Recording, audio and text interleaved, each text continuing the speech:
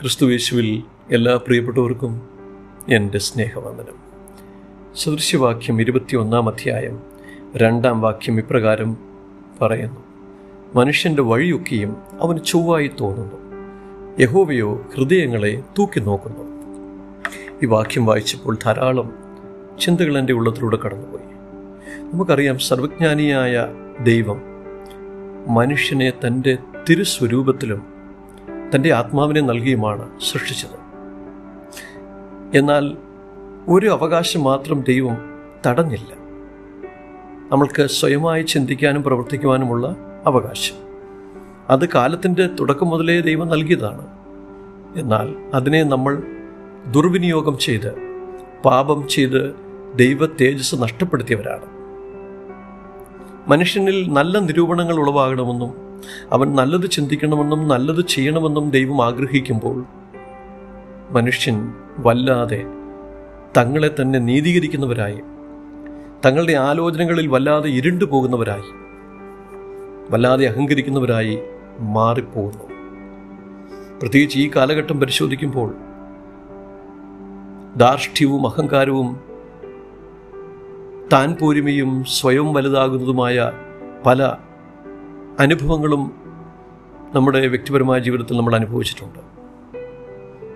മിക്കവാറുമുള്ള മനുഷ്യരെല്ലാം താൻ ചെയ്യുന്നത് താൻ പറഞ്ഞത് ഏറ്റവും ശരിയായി കരുതുമ്പോൾ മറ്റുള്ളവരുടെ ന്യായത്തെ മറിച്ചു കളയുവാൻ ശ്രമിക്കുമ്പോൾ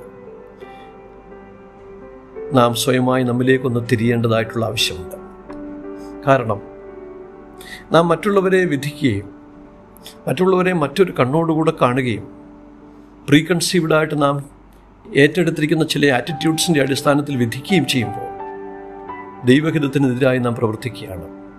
കാരണം നമ്മുടെ ഹൃദയങ്ങളെ നമ്മെക്കാളും നന്നായി അറിയുന്നവനായ ഒരു ദൈവത്തിന്റെ സന്നിധിയിലാണ് നാം ആയിരിക്കുന്നത് എന്നുള്ള യാഥാർത്ഥ്യം നാം തിരിച്ചറിഞ്ഞാൽ നമ്മുടെ ഈ ചിന്തകൾക്കൊരു മാറ്റമുണ്ടാവും മറ്റുള്ളവരെയും അവരായിരിക്കുന്നത് പോലെ മനസ്സിലാക്കുവാൻ അവരുടെ ന്യായങ്ങളെയും അംഗീകരിപ്പാൻ നാം പറയുന്നത് മാത്രമല്ല ശരിയെന്നുള്ള യാഥാർത്ഥ്യബോധത്തിലേക്ക് മടങ്ങി വരുവാനുമൊക്കെ നമ്മെ അത് സഹായിക്കും. പ്രിയപ്പെട്ടവരെ നാം എപ്പോഴും ശരിയാകണമെന്നുമില്ല.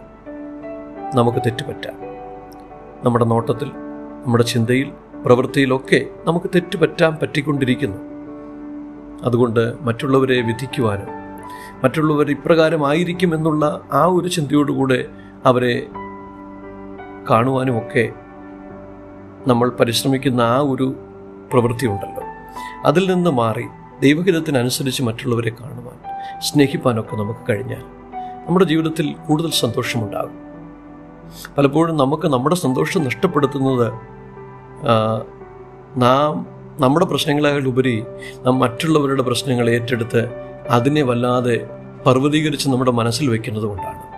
അവയൊന്ന് മാറ്റി മനസ്സൊന്ന് ശാന്തമായാൽ മറ്റുള്ളവരെ സ്നേഹിക്കുന്ന ഒരു മനസ്സ് നമ്മുടെ ഉള്ളിൽ വന്നു കഴിഞ്ഞാൽ മറ്റുള്ളവരുടെ ജീവിതത്തെ അംഗീകരിക്കുന്ന ഒരു അവസ്ഥയിലേക്ക് നാം മാറിക്കഴിഞ്ഞാൽ നമ്മുടെ മനസ്സ് ഒത്തിരി സ്വസ്ഥമാകും. സന്തോഷമുണ്ടാവും ദൈവസ്നേഹം കൊണ്ട് നമ്മുടെ മനസ്സ് നിറയും. അതിനായി നമുക്ക് ദൈവങ്ങളിലേക്ക് ഏൽപ്പിച്ചു കൊടുക്കാം. നമ്മെ ശക്തനാക്കുന്നവൻ മുഖാന്തരം നാം സകലത്തിനും മതിയാകുന്നു. ദൈവത്തിന് മഹത്വം.